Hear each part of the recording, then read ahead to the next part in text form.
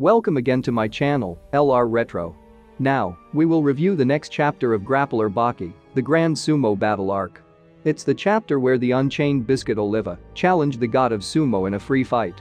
Do you think Oliva has an advantage in a match with no rules? Let's find out. But first, please know that you can buy the new Grappler Baki volume collections, Baki the Grappler Season 1 and 2 DVDs, and Bandai's Grappler Baki figurine on the link on the description below. By buying, you can help the channel grow and release more Baki videos. Please subscribe and let's begin. The chapter starts inside Tokugawa's mansion.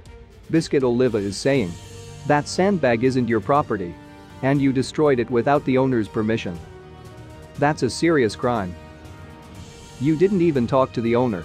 Sukune-san. I'm going to arrest you right here, in the act. The monstrous strength of America's strongest versus the second generation, Nomi no Sukune. He then replied. Well, there have been. Irredeemably slim Rikishi. Slim? Oh. He's saying that the demon man Biscuit Oliva is skinny? You're calling me scrawny? You're a foreigner. But your Japanese is excellent. Exactly. You're horribly skinny. Then Oliva smiled. He then said. I'll cut this short. I'm gonna borrow your chest holding nothing back. Then Oliva tackled the god of sumo.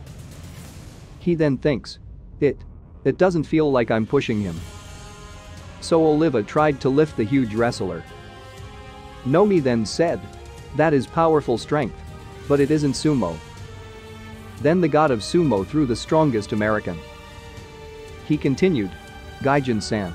An inverted triangle doesn't stand a chance against a triangle the triangle, and the inverted triangle.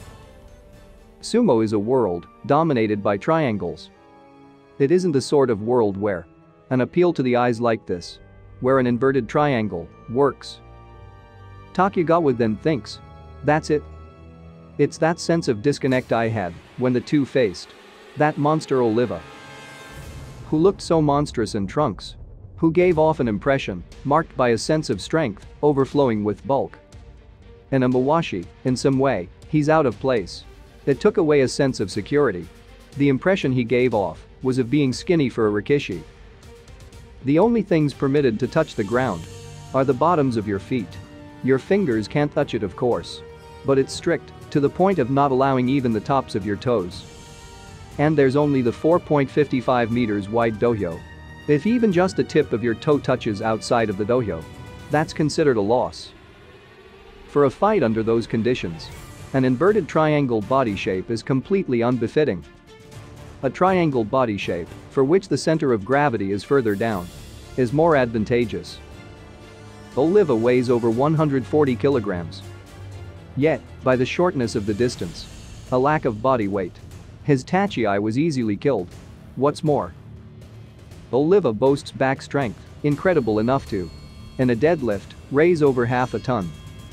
Yet, Sukune, who while weighing over 200 kilograms, doesn't come close to weighing half a ton, had the immeasurable technical skill to not allow himself to be lifted even a millimeter. The triangle is fearsome. Sumo is fearsome. Nomi no Sukune is fearsome. Oliva then said. Hey. How long do you plan on holding me? Ah. Sorry. I get it. You're right with an inverted triangle that just looks cool. I can't win against a triangle. But that only goes for sumo. In a simple fight, a free fight where you only stop when it's done, things are different. Oh, Mr. Sukune, the heavens are telling you something. In the natural world, the gigantic guys with fat waists are killed by the small-waisted hunters. Same goes for the world of insects. The waists of the predators are always small. Even the shapes of their faces are inverted triangles. I see. Let's have a free fight. Really? Here? Though, I am only familiar with sumo fights. Oliva replied. I. An American, can't figure it out, but. There's no start signal in sumo, or. That's correct. We match our breathing, and. Like this? Then Oliva punched the god of sumo in the face. He then said, Oh. Was that a matter? I'd heard that there's no signal to start in sumo. But. Was that Tachiai just now? Hamada? No. I was the one who didn't match his breath. I'm sorry. That pisses me off. You're covered in blood. And you're still just as well spoken. Should I? Have been pathetically pleading for my life instead? Don't be stupid. A plea for life isn't something made out of sense. You drive someone back. Get them into a corner. And when you've got them there, even though they don't want to, they beg you. That's what that is. I understand. Please drive me back. Hold back nothing. He's going into a free fight with Sumo? This is it. This is what I wanted to see. A Rikishi, who's prepared to be hit. Having a cross-style match. Don't have to tell me. Holding back in a match is a manners violation. Don't expect that kind of rudeness from me. Then Oliva took a weird stance. Tokugawa then realized. Wow. Whether or not he knows it. That's the stance of the statue of the Kongo Rikishi. It's inevitable. Once you decide on a full power collision, the fight inevitably becomes sumo. Then Oliva punched Sukune in the head. Unfortunately, his forehead broke the Unchained's hand. Tokugawa then thinks. The man of steel. His fist was demolished. And he's being held. What? What is he grabbing onto? His bones. Bones? What? His ribs?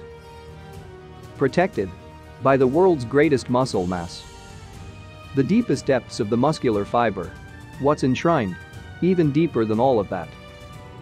His ribs are being grabbed from above the skin. That ultra-high pressure grip strength. Said to turn coal into diamond.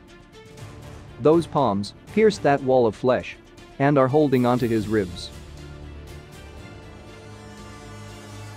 What do you think of this chapter? Do you think Biscuit Oliva can still have a comeback against a modern god of sumo? Comment down your opinion below.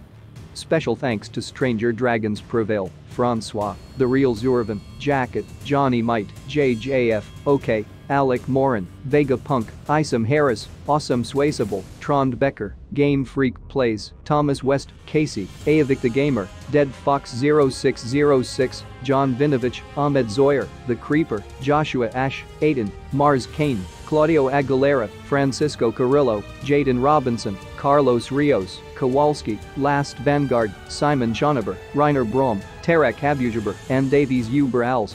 We really appreciate your help. If you want to support my channel, please subscribe to my Patreon, LR Shion. I will put a link in the description below. Our next video will be about the conclusion of the match between the strongest American and the god of sumo. Stay tuned.